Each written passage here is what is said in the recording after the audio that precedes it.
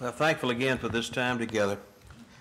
Grateful for some who are back that uh, have been sick, and thankful for the fact that uh, we are all able to be out, some in the parking lot, but uh, glad in whatever way to be together and missing, missing some of our number. I want to start the lesson this morning in Ephesians chapter 6. In Ephesians 6, and in verse 1, children, obey your parents in the Lord, for this is right. Honor thy father and thy mother, which is the first commandment with promise, that it may be well with thee and that thou mayest live long on the earth. Uh, this is a requested lesson, by the way. I'm trying to work through the request of those that uh, have offered suggestions, and I always appreciate them. And I think this is a passage that ought not to be overlooked. It has a word to say, especially to our young people. So I ask the special attention of our young people. Uh, children, obey your parents. Children, honor your parents. It's interesting to me, sometimes in looking at, at a passage like Ephesians 5 and 6, that has a lot to say about the responsibility of husbands and of wives in particular, and something to do with fathers, that the responsibility of children can be lost in that picture. You know, we think of kids sometimes as just along for the ride. Actually, that's not so. There's a, another familiar passage uh, we have uh, uh, made into a song. It was originally a song, a psalm, Psalm 148. And uh, we have, uh, through the years, uh, sung a version of this psalm, Praise ye the Lord. He begins there in Psalm 148. Praise ye the Lord from the heavens. Praise him in the heights. Praise him, all his angels. Praise ye him, all his host. Praise ye him, sun and moon, and all ye stars of light, ye heaven of heavens, and ye waters that are above the heavens. Let them praise the name of the Lord, for he commanded and they were created. He hath also established them forever and ever, and his decree will not pass. Verse 7 Praise ye the Lord from the earth, ye dragons, and all ye deeps, fire and hail and snow and vapor and stormy winds mountains and hills and fruitful trees and cedars and beast and cattle and creeping thing and fowl. And we get to read that pretty soon. We wonder, what in the world is he talking about? He's talking about the, the not just the angels, I get that part, but the sun and the moon, praise God. And he calls on the, these uh, great sea beasts, whatever they were, the dragons, the Tayin, and the snow and the mountains and the hill. Well, the point of the psalm, I think, is not that difficult, is it? He's saying that everything that God made has a place in his plan. Isn't that right? Everything that God made has a place in his plan. And he calls on all of those things to do what they were made to do. If the mountains are there to show glory, if the stars are there to give, and the sun and the moon to give uh, sign days and months and years, if the angels are given charge over his people, let them do what they were commanded to do because he commanded them. And they are called on to fulfill his word in verse 8.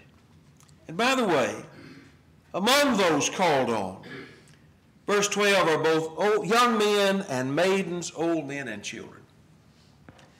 I think the, that this great old psalm reminds us of the fact that everybody has a place, even children, in the plan of God. And so I want to think with you a little bit about children in the plan of God and the responsibility that God places on them. And I think the passage we began with makes it plain what their main job is. That the main job of children is to honor their parents to me always the idea of to consider something to be precious, something to be valuable, uh, something to be revered. Uh, it's the word that's used, by the way, of people in, uh, in Acts 28 He's not talking about Paul being the father of those uh, on the uh, island they were cast upon after their shipwreck. But you know, when, when Paul found his way there to Malta, the chief man of the island was a guy named Publius. And um, his uh, father was sick and in bed, suffering from a fever and dysentery, which was usually fatal, frankly. You dehydrate, you die. But Paul went to him and prayed and placed his hand on him and made him well. And I tell you, that changed everything. I mean, they greeted them pretty kindly to start with. After that, Paul was revered. He was honored. Same word used here in Ephesians. In fact, it says they show great respect for us in many ways. You know, that's what God wants you to do as a child. He wants to show many, in many ways, respect and honor for your parents. Listen to me now. Respect and honor for your parents. In what ways should a child show respect and honor for those who are their parents?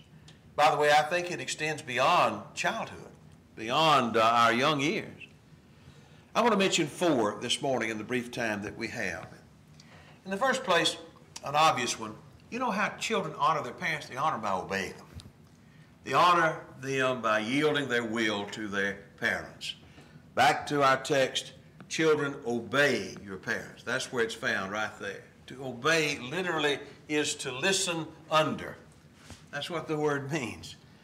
Uh, as if you've got a hierarchy or an order and someone above gives the order to me and I'm below them. So I will honor their demand, their request. to hear as a subordinate, to listen attentively, by application to heed, to conform to a command or authority.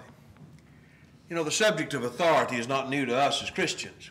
When I look in a passage like uh, Luke 7, and this is not talking about uh, children and their parents, but it's talking about authority, same idea. And there was a soldier that Jesus encountered. He needed healing uh, for his servant. And he called upon Jesus to help him. But he said, There's no need for you to come to my house. He said, I know you can speak the word. That'll be enough. It's a great passage. In verse 8 of Luke 7, it's the soldier who says to Jesus, as you know, I'm in a chain of command. And I have soldiers at my command. And I tell one, go, and he goes, to another, come, and he comes, and I tell the my servant, do this, and he does it. That's what it means to be in a chain of command. And here's somebody giving the instruction, and here's somebody else who obeys it. There is no substitute for obedience. That's something we learn from our relationship with God. It wasn't that long ago we were talking about that passage in 1 Samuel 15, where Saul had to learn the lesson that God doesn't want us to come up with all kind of great ideas that are different from His command. To obey is better. Let me say to you as young people, there's no greater way to honor your parents than do what they say. To take direction, to recognize my role is not above them, but it's beneath them. There's a chain of command given by God. Obey. Simple enough. Harder to put into practice. In John the 8th chapter, in verse 28, Jesus is explaining that the reason why his enemies among the Jewish leadership just didn't really understand him is we're from two different fathers. Your father's the devil. My father's from above, and I'm his true son. Now, God set up the family to teach us something about our relationship with him, didn't he? And here's one point that he made. He said, one thing you're going to learn from right now, from the beginning all the way to the end of my life here on earth, is my dedicated obedience to my Father. When you've lifted up the Son of Man, I think talking about the crucifixion, isn't that the ultimate example of obedience? Nevertheless, not as I will, but as thou will. He said, You will then know that I do nothing of my own authority. Just as the Father has taught me, I speak. And he who sent me is with me. He's not left me alone, for I always do thing, all things that are pleasing to him. Everything I do is pleasing to him. That's my existence. That's my work to please my Father. You're looking for what it means to obey God? Look at the Lord. Look at his life. He teaches us what a son is. Now, there is a caveat to that. There is a condition to that. Obey your parents in the Lord. In talking about this verse through the years, I, I made the points, people interpret that different ways. But I, I don't think when he says here in the Lord, he means as a Christian. Or that your parents have to be Christians to obey them. I, I think what he means is within the realm of what's right, within the realm of what the Lord allows. Obey your parents in the Lord. Within that broad realm, do everything that they say. That's, that's Colossians 3. Children, obey your parents in everything. It pleases the Lord. If it pleases the Lord, obey. Uh, and here's an important point. We all know this to be true. It's my job as a parent to teach my children obedience because if I don't do it, if I don't teach my children while they are young and in, in my control, that they don't run the world, and everything doesn't have to be okayed with them, and there are times they're just going to have to do what they're told, even if they don't like it, even if they haven't been consulted and agree with it. And I'll tell you, when they get out of my household, somebody else is going to teach them that lesson. Or they'll learn it somewhere worse than uh, my house, for sure. So, better that they learn that lesson from me, from the one that loves them most of all, that there are times in life we have to learn we don't rank above, we are below. And we're the ones who are told what to do. And let me ask our young people, don't answer out loud. How you doing with that, by the way? Will that be true about you? That you obey without murmuring, without complaining, and without objecting, and without having to have a word about it, and without sneaking around doing what you want to do anyway? These are the questions that I think that our good people, we have good young people here, good young people have to ask themselves. Am I submissive as I should be? Uh, let me suggest another way we honor parents, obeying them, obviously. But secondly, by respecting them. I think it's possible to do what somebody says and not respect them. You see that at work, don't you? You work secular work. And there are times when you may, God said, come in, I got to come in. I don't like it, and I let everybody know I don't like it. I let everybody know what I think of him. Well, that's obedience, but not really respect. If you look at one of the modern speech translations of Romans 1.30, he's describing the darkness of the world. He says, the world will become less and less like God would have it to be. People saying cruel things about others. They hate God. They're proud, they're conceited, they're boastful, always thinking up new ways to do evil. These people don't respect their parents. It May seem like a strange uh, addition to the list, but of course it's not, is it? Because that's where all the other problems start. I don't learn to obey parents, so I don't learn to obey God. Action needs to be accompanied by the attitude of submission. And I think that the old story of the prodigal son is a great example of that. We'll not read it in its fullness. Let me just remind us of a couple of points there, the introduction to that story, the opening of that story. In Luke chapter 15, Jesus is talking about lost things. It tells a great story about two sons that were lost in different ways. But uh, in verse 11, a certain man had two sons. And uh, the younger of them said to his father, Father, verse 12, give me the portion of goods that falleth to me. And he did. He took his inheritance and just left. Not many days after, the younger son gathered all that he had, took his journey into a far country, and there wasted his substance with riotous living. Don't you suppose he left because he wouldn't have been allowed to have uh, engage in that riotous living at home. But that's what he wanted, and that's what he did. And people do what they want to most of the time, don't they? Don't people make the choice that they want most of the time? You can't make people. I, have known folks uh, that had problems, drug problems, problems like that. They get clean from it, they go back to it, and they do that again and again. And you can take folks like that and put them out in the middle of a, of a, of a Kansas wheat field somewhere where they don't know anybody, and it won't take long. If they want to, they'll find a way to go back to evil. You know why? Because that's what they want to do. They're just hooked on it, they're bent on it, and their will is too weak, and they're. there's a way to find the wrong door, and there's a way to do right.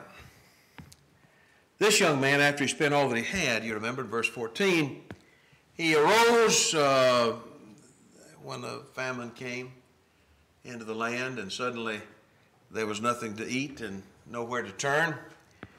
He had uh, tried to uh, work uh, feeding hogs, and that didn't uh, even get him fed. So he came to himself and he said in verse 17, How many hired servants of my father have bread enough to spare?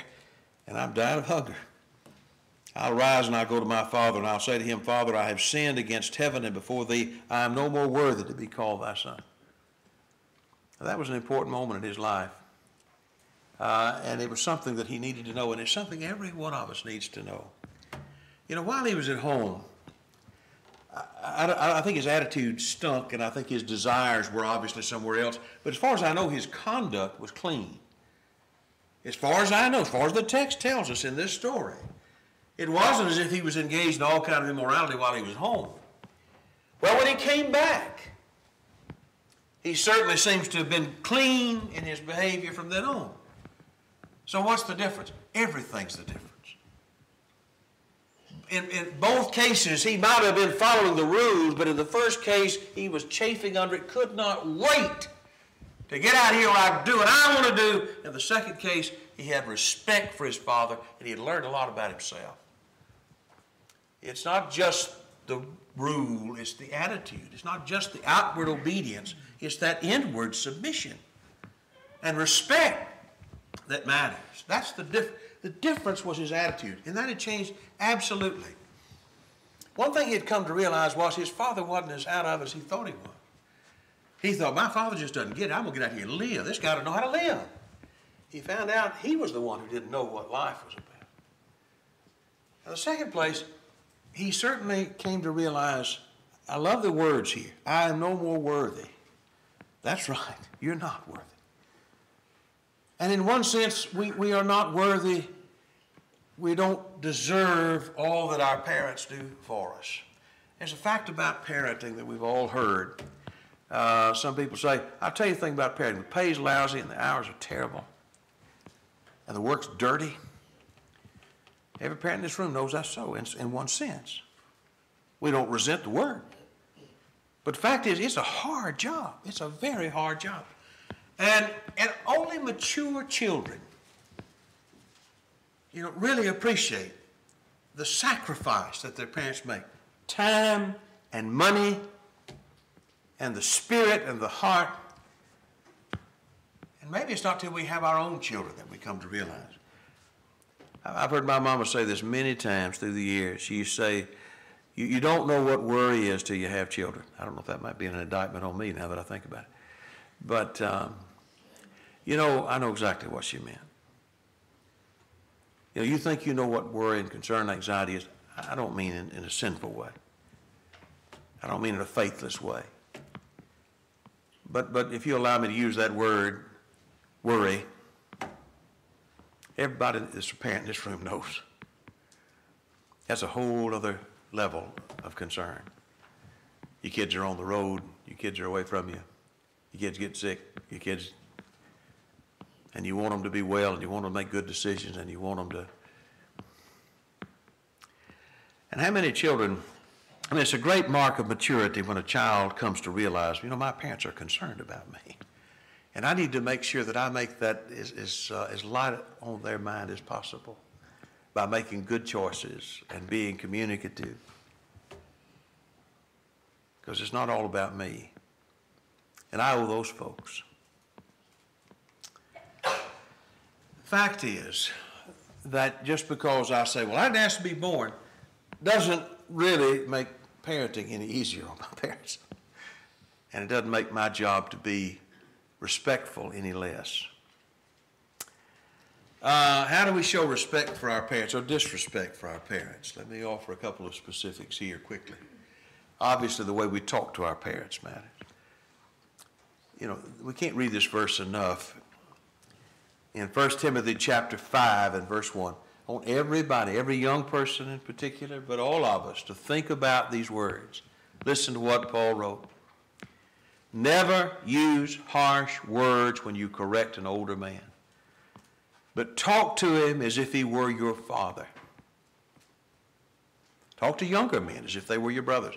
Older women as if they were your mothers. He didn't say, don't correct somebody who's old. What he did say was, you talk to them like you talk to your father. And you talk to your father very carefully. Very carefully. And your mother very carefully. It's not a credit to a young man or a young woman when he hollers at his parents like they are some raccoon rummaging around in his garbage can. That's not the way we talk to older people. That's not the way we talk to our parents. And if, if the young people here, if we find ourselves speaking harshly or sharply or in an aggravated fashion toward our parents, let me tell you, we, we're not pleasing God in that matter. Something's got to change. And when our parents come down hard on us about that, they're doing us a favor because that's something that needs to be corrected now. The way we talk about our parents can also be a part of this. Showing respect, showing disrespect. You know, it's a little bit like to me a man, you, work secular work, you work with a bunch of guys. Um, here's what I found to be true there'd always be some guy in the break room who made it his um, practice to run down his wife before everybody else, talk about what a spendthrift she was or how dumb she was, or how aggravating she was, or how selfish she was, or how this or that she was. And uh, people like that, I, I don't know if they ever realize just how they demean themselves when they do that, how small they make themselves look. This is your spouse. This is the woman you promised to love, honor, and cherish. This is the woman that is yours, and you talk about her this way. You do yourself a great disservice when you do that. And we certainly don't do God right when we do that. The Lord doesn't want that. If there are problems, let them be worked out. And by the way, I'm not saying that there may not be problems. We may not need to get help sometimes. I may need to say, hey, I need some help. That's not, that's not what I'm talking about. I'm just talking about, we all know what I'm talking about. That, that habit of just grumbling and griping and uh, mocking. This is, this is not right. And it's not right when we as children uh, get in among other people, so-called friends, and run down our parents. Maybe they start it, we'll join in with it. This is not godly behavior. Not appropriate, not right. We ought to show them consideration. Not, not only should we not be disrespectful in our language, we ought to in every way show deference to our parents. That great passage from the Old Testament comes to mind in Leviticus 19. It was serious, wasn't it, the old law? If you had a child and they were just a consistently rebellious child of their parents, that was a capital offense. On the other hand, he says, teach your children and let children take into their own heart this lesson respect for age. You shall stand up before the gray head and honor the face of an old man, and you shall fear the Lord. I am fear your God, I am the Lord. You know, courtesy and politeness and deference to age, especially to our parents. That's characteristic of people who have a godly attitude. That's how you honor father and mother. Parents are the ones who have our best interest at heart. And, and it's so sad that there's so many young people too immature to realize that. that rebellion is a self destructive act. What was it that Proverbs 30, the words there of Agur? The eye that mocks the father and scorns to obey a mother will be picked out by the ravens and eaten by the vultures. You know, you're setting yourself up for a great deal of destruction, uh, of, of, of, of sad times and hard times, destruction. Cuts your life short, the wise man said. When you fail to uh, respect your parents, when you fail to learn from your parents, that's another point we'd like to make. We'll just make these last two quickly, but it is important. You know, our parents are not always right. Uh, and, and sometimes they can seem so backwards. You know, they just don't get the technology like we do, or they, in many cases at least, they don't know about the new technology. And uh, they, they don't dress like they dress now, and they don't know all of the uh, nomenclature and all of the new words and all the new phrases, and so uh, they don't know any of the music that's played, and so they're just dumb. and you know, and, and again, it takes a bit of maturity for a young person to realize that that's the way it works in every. That, that's going to be true about you one day, by the way, too. If you live long enough and if you have children, this is the way it works. You know, time goes on and young people are fascinated by this and older people may not be up on all those things, but that hardly means that they're behind in life because they know a great deal. They know how to work and make a living. We had time, we'd go back over here and look at these passages that, that warn us against laziness and against a, a lack of initiative. And children do their parent, I'm sorry, parents do their children a great deal of good when they teach them that work ethic and that teach them that sense of responsibility. Don't look at your parents as if they're stupid. They're a lot further along in this world than, than we are. And there are a lot of things we can learn from them about how to work and how to live and how to get along and how uh, to, uh, to run a family. They know a lot about the temptations of this world, more than we do. When you look back again at the Proverbs and you see the picture of the young, foolish individual in chapter 6 and chapter 7. Uh, one point that uh, could be made about that is, you know, Solomon, he could see the trouble coming. He could see that young man going down to the house of that woman whose husband's not at home. Bad idea. Everything about it's bad. No way good can come of this. But young people don't either understand the temptations or they don't uh, care enough about the consequences. And so when your parents tell you you can't go with that crowd or you're going to have to be not alone or you can't go to this place, these are lessons that they teach you not because they don't love you, but because they want to protect you. And they want to help you to be pure and to do things, to, to abstain from things that will cause regrets. Honoring your parents means you have enough sense to learn from them and to recognize their superior experience. They're a better judge of character in many cases than, than young people That may not be true every time, but it's true a lot of times. And so the wise man back in Proverbs chapter 2, um, you know, he can tell you that there is a man that you ought to stay away from and there's a woman you ought to stay away from. Uh, when wisdom enters into that heart, and knowledge is pleasure to thy soul, discretion will preserve you, and understanding will keep you, to deliver you from the way of the evil man, the man that speaks froward things.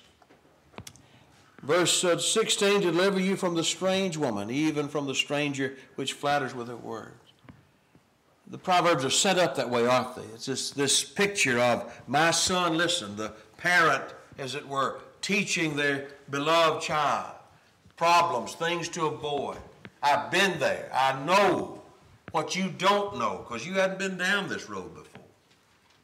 Listen and learn from their experience.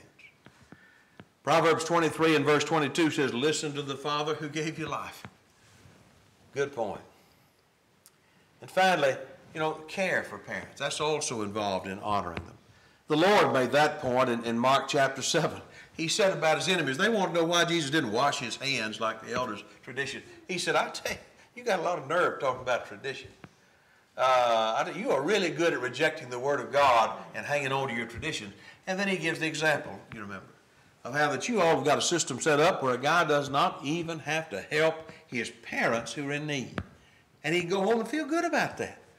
That's devilish, he says. You know, the Lord expects us in honoring our parents to not just obey them as children, but to care for them when maybe they are more like children and need help. Or maybe some circumstances reduce them such that they cannot provide for themselves. Children or grandchildren of a widow must first learn to respect their own family by repaying their parents. 1 Timothy 5 and verse 4. In verse 8 of the same chapter, if anyone doesn't take care of his own, especially his immediate family, he's denied the faith and is worse than an unbeliever. God gave parents to care for children. And then, in some sense, God gave children to care for parents. And, and it's up to, to both groups to make the best of their opportunities as uh, they come forward. And I'll tell you something you already know. He didn't say do that because it's convenient, because parenting is not convenient. Hardly ever convenient. Nor is taking care of your parents, if they're in that situation, often convenient. And it may not even always be deserved in the latter case. But, but the people that I know that do that, they do it just because it's right. They will not let their parents suffer or lack because it's just not right to do anything but honor their parents. So, let me conclude by asking a couple of questions. Number one, or make a couple of points, I should say. Number one, how you treat your parents affects your lifespan. It affects your quality of life. And you need to think about that as a young person. That if I become a rebel against good advice, it's going to cause a lot of headaches. When you beat your head against the wall, it tends to hurt your head more than the wall. How you treat your parents affect your relationship with God. There's no doubt about that, and eternal consequences. Let me ask you, are you honoring your parents today? Well, for some of us, too late. It's a limited opportunity. So while you have the opportunity, and especially I'm talking to those while you're at home, make sure that you honor your parents, that you make good memories, that you make their job as easy as possible because they deserve that, but most important because God demands it. And if we haven't, if, if I'm here in this audience and I'm thinking about ways in which I really have not been as respectful and as careful and, and as uh, godly as I should have been, make it right. I claim to be all grown up. Okay, what grown up people do when they make a mistake, they make it right. Make it right. And then do better. And the Lord will help us in that regard. Okay, thank you for your kind attention this morning. If you're here as one who is not a child of God, why not come to the loving Father, the Heavenly Father, the Eternal Father, become His child, and find uh, all the guidance that uh, we need in this life to be with Him for eternity. If you're here in need of being baptized into Christ, why not today make that start? If you're here as one who has a child of God, has not been faithful to the Lord, not careful for Him, then let us know if we could help you to return to Him.